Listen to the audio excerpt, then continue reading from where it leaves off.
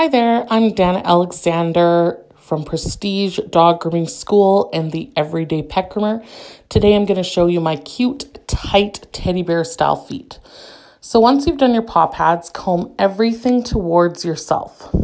I'm going to be trimming everything with my curve shear that is not flush with the toe pads. So I'm just going around, not over top of those pads, but I'm just going around right to the edge and trimming anything that isn't level with my toe pads. Come out again, repeat. Every time I comb and repeat, you should get less and less hair that you need to trim. Now I'm going to flip the foot over.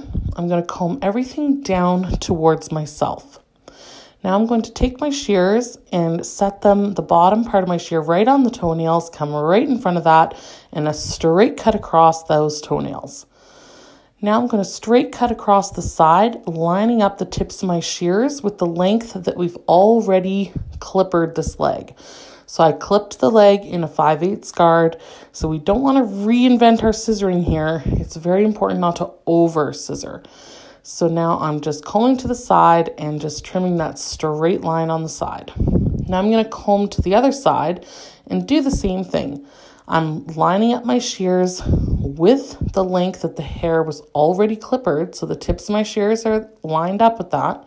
And then lining up the base of my curve shear with the curve that we've created.